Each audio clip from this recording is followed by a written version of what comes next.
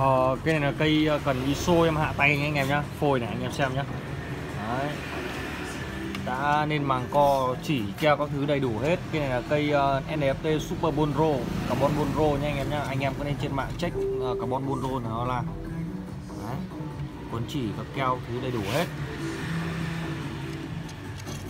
Cứng cỡ khoảng từ 6 đến cho đến 7 h nha anh em nhé 6 cho đến 7 h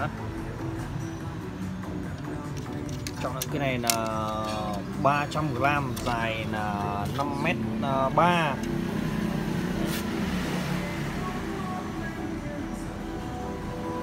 đường kính ngọn 1.8 mm đường gốc kia 24 phôi rất là dày anh em nhé.